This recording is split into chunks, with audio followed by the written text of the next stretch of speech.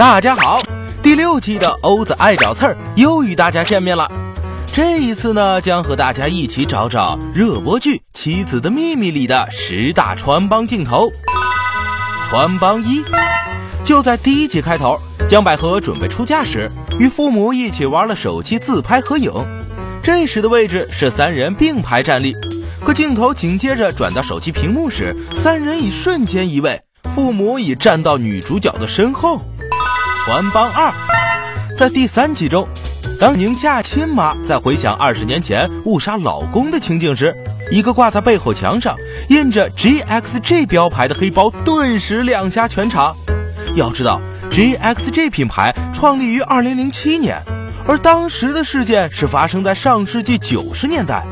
此品牌 logo 的强势植入，让小编我深深体会到了剧组的无力感和挫败感。小编只想说。亲，没事的，改拍穿越剧吧。穿帮三，在第五集中，当明朗和江百合一起去江氏集团的仓库寻找事故线索时，我们看到被烧毁的仓库外墙是这样的。可当随后黎天的车子开到仓库的外墙，瞬间大变样了。这显然是该剧的后期特效做漏了效果呀！导演造吗？穿帮四，在第五集中。当黎天拨打明朗手机时，手机上显示的日期是十月二十七号星期日。为此，小编还特意查了一下月历，找到这一天是在二零一三年。可随着故事推进，在之后的第七集中，黎天给赵钱孙开出的支票显示日期却是二零一三年的六月五号。从十月二十七号到六月五号，让我们领略了导演倒着拍片的功力。穿帮五，在第十一集中。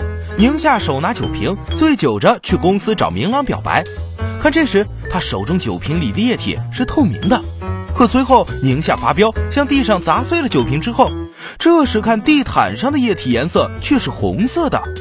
这说明之前酒瓶里装的应该是水，之后剧组才舍得撒上些红酒。嘿，这不都是为了节约吗？穿帮六。还是在第十一集中，还是在之前宁夏发飙的场景中，宁夏砸碎酒瓶后，捡了酒瓶玻璃，想要当场自杀给明朗看。这时看他右手是攥着完好的瓶颈部分，丝毫没有被割伤的风险。随后被明朗强硬扔去那段酒瓶坐下后，就紧接着看到了一个右手滴血的镜头，转的甚是突然呢。小编我好想知道这血是怎么来的。麻烦导演给来个慢镜头特写吧。穿帮七，在第十二集中，宁夏准备上车时，迎面一辆小车直冲而来，宁夏顺势一个后滚翻动作躲避。看这时在翻滚中的宁夏，哎，怎么大变样了？哦，原来是替身一枚啊。穿帮八，在第二十五集中，百合手机显示一串未知的手机号码，接通后电话那头原来是明朗。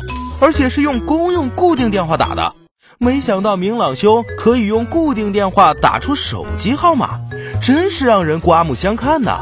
那些没有手机却又喜欢装逼的同学们，可以向他好好请教请教哦。穿帮九，本剧很长时间是围绕着红姨找两位亲生女儿的线索展开的，两位女儿的左右肩膀上分别有十字形伤疤可供辨认。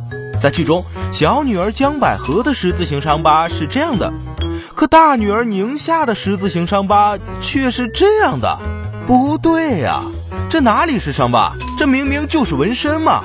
而且这两个记号，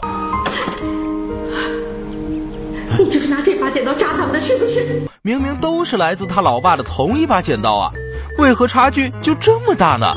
这老爸也太偏心了吧！穿帮十，最后还是按照惯例来个贯穿全剧的穿帮吧。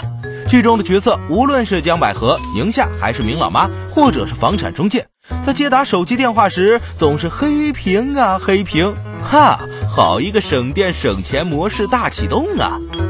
末了呢，小编我最想吐槽的就是，这真是一部无论从故事情节还是演员表演都很俗套老套无亮点的烂片，浪费了小编的无尽青春，只为让穿帮奉献世人呐！好了。欧子爱找刺儿，让我们下期再会吧。